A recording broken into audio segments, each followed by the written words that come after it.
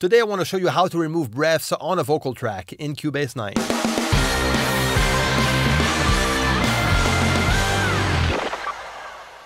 Chris here from Mixdown Online. Now, if this is your first time here and you're into music production, mixing, mastering, recording out of your home studio, click on the subscribe button below and the notification bell so you don't miss a thing. Now, let's get into it.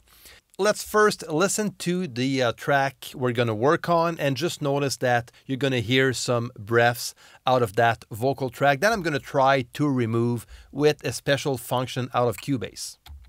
Pourquoi pas entrer dans la ronde Pourquoi pas déposer une offrande La vie est belle qu'elle n'en peut plus, même si parfois on s'est perdu.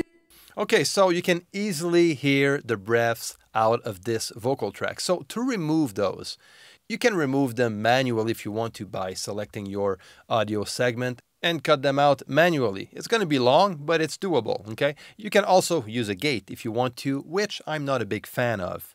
Uh, using a gate on a lead vocal, I don't know, you know, on some part of the song, your lead vocal is going to be at a certain level, and, you know, on the chorus might be higher, so it might be a bit difficult and complicated to set up your gate with the perfect settings to achieve what you want to do here. So I have here in Cubase an easier way and a more practical way to remove the breaths out of a vocal track. So just select the vocal segment you want to work on, click on Audio, go down to Advanced, and click on Detect Silence.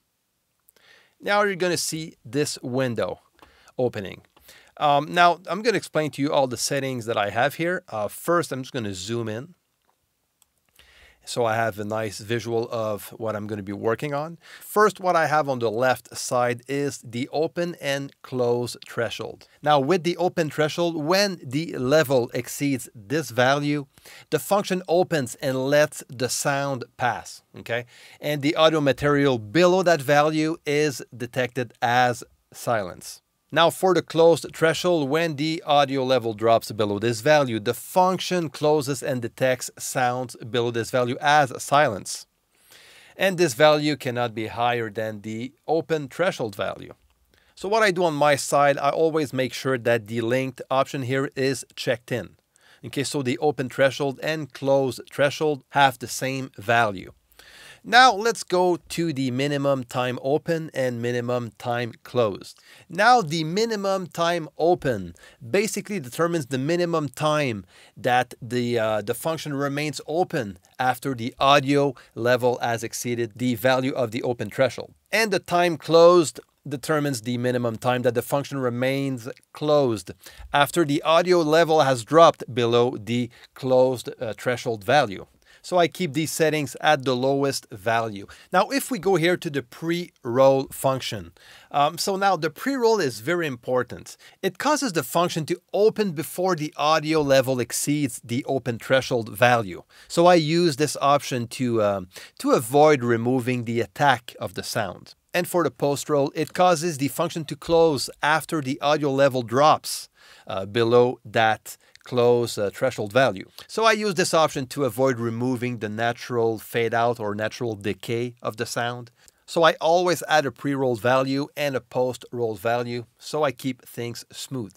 So if we go to the output section here, I check the uh, strip silence, okay? So now it's going to create uh, several segments, okay?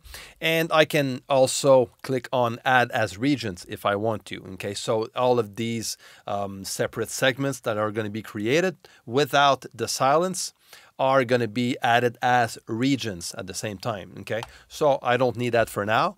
And now the compute option here, okay? So if you click on automatic, every time you're going to work on a setting, Cubase will analyze what you're doing and show it to you visually here on top. So let's bring my threshold down to around minus 33. That's good. Okay, so the minute I move that value. I see Cubase analyzing the, uh, the audio and give me a visual of what I just did. So minus 33 is my threshold for this part. And uh, I think I'm going to bring that up a bit. And same here. I'm going to leave the minimum time open and close to these values.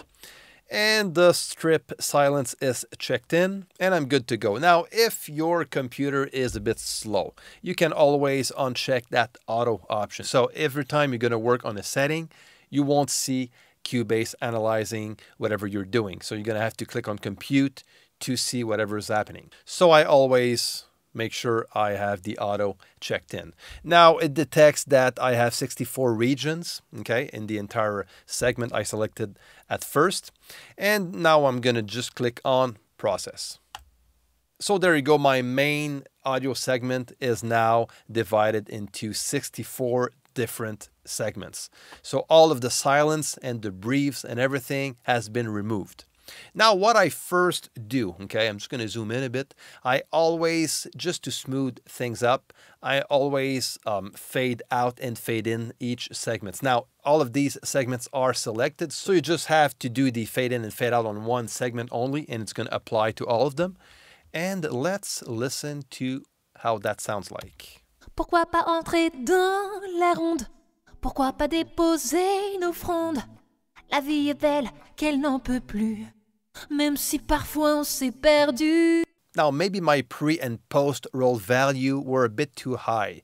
Okay, so I'm just going to go back. I'm just going to undo whatever I did and go back into advance and detect silence. And I'm going to bring this value down. And same here. All right, I'm going to click on process again. Pourquoi pas entrer dans la ronde Pourquoi pas déposer nos frondes Perfect. I'm just going to fade that in and fade that out. Pourquoi pas entrer dans la ronde Pourquoi pas déposer nos frondes La vie est belle qu'elle n'en peut plus. That's way better. So if you want to remove silence and breathes out of a vocal track, this is the way you can do it in Cubase.